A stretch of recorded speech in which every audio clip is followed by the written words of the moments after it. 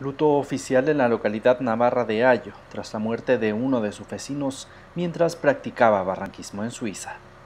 En el accidente han fallecido otras dos personas, mientras que otro vecino del pueblo se encuentra desaparecido. Susana Castanera, alcaldesa de Ayo.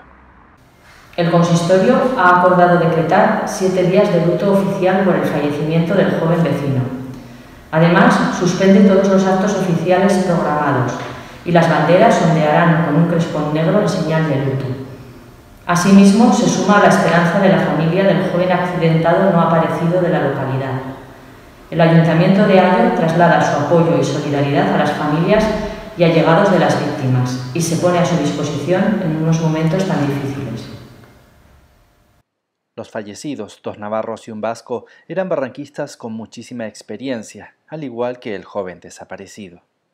Los deportistas de entre 30 y 48 años sufrieron un accidente cuando fueron sorprendidos por una tormenta eléctrica no prevista que descargó un gran volumen de agua en muy poco tiempo, mientras practicaban barranquismo en las gargantas de Parlitobel, en el cantón suizo de San Galo.